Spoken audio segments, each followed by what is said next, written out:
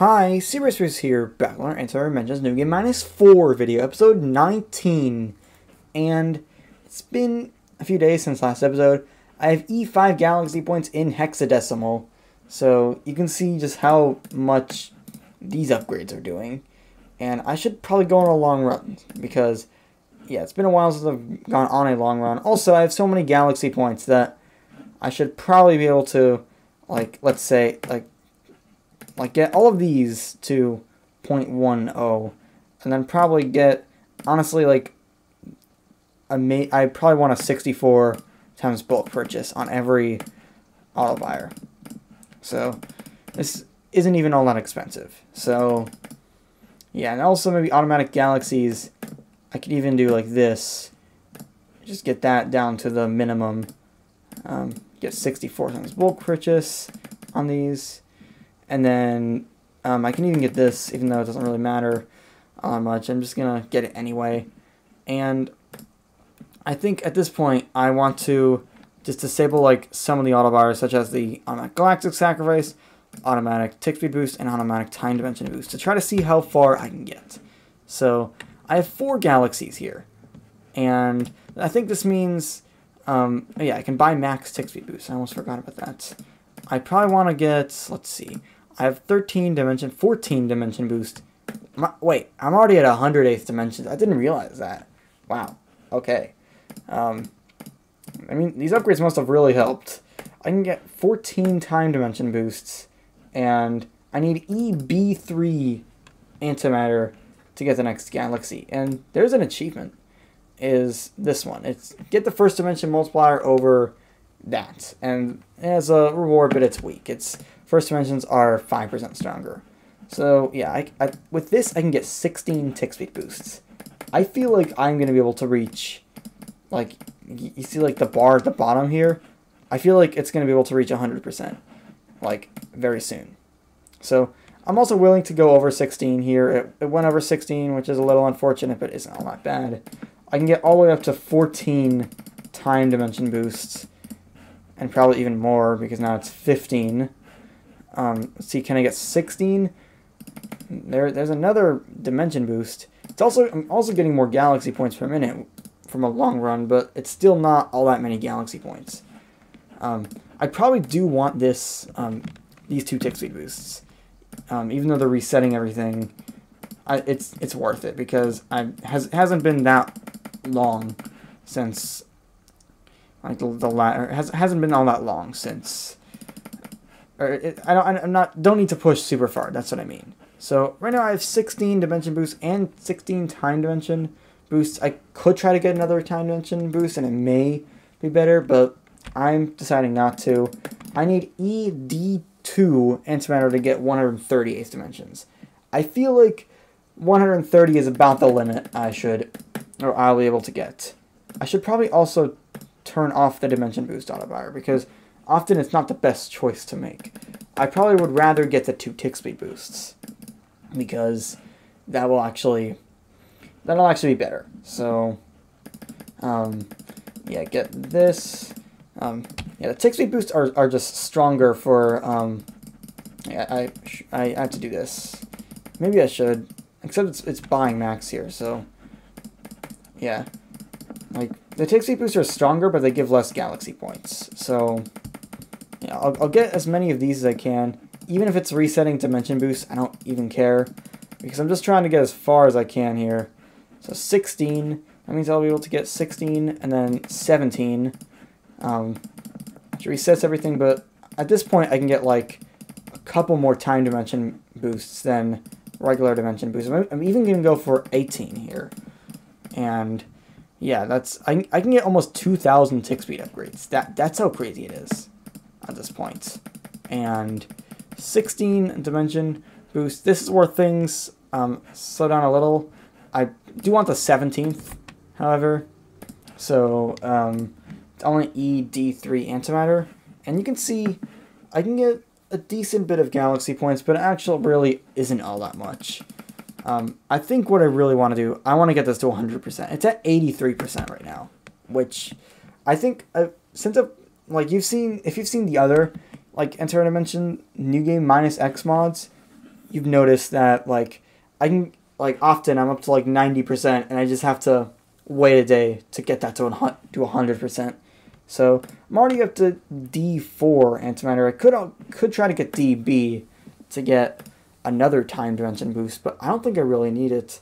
I think yeah, it'll it'll be pretty um yeah, it won't won't be too bad to reach E3 or EE3 to get a sixth galaxy, which allows me to um, just get more tick speed boost and just get um, just get more everything. So yeah, this this is actually pretty exciting. I, I'm I'm actually getting close to infinity.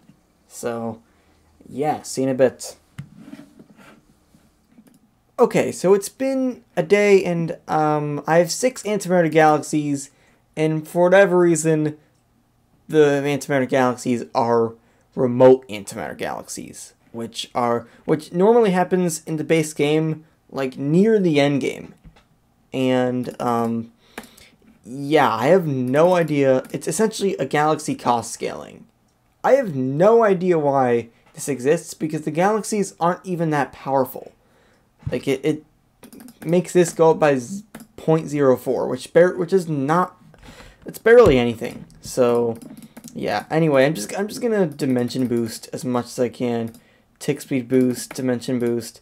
Just get as much of everything as I can. And then yeah, time dimension boost. I want to get that up to 13. And then I can um, get dimension boost. I can even get tick speed boost at 17. Can I get it 19? I think I can get, it goes all the way to 21 before it resets anything. So I can even get, yeah, I can probably get up to 21 here. If I just get this, yeah, there there is 21. I should pretty easily be able to get, um, I think that's 17 dimension boosts. So that means I want I can go I can easily get up to 17 time dimension boosts. I'm probably even willing to go 18, which resets dimension boosts, but that's okay. I'm I'm really trying to get this percentage to infinity to 100%. So if you, even if it's resetting stuff like that, that's still okay. And then I think the next thing I want to do is get 19 time dimension boosts and see if this, um, hopefully this will um, help things further because again, I'm I'm re I'm really close to, um, yeah, this is really close to 100%.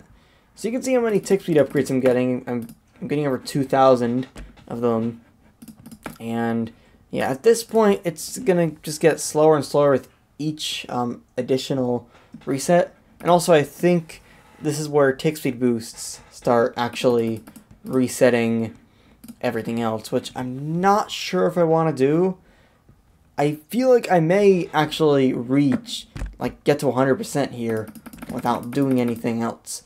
So, yeah, that's that's actually pretty exciting because this means that I've al I've almost I've almost done it.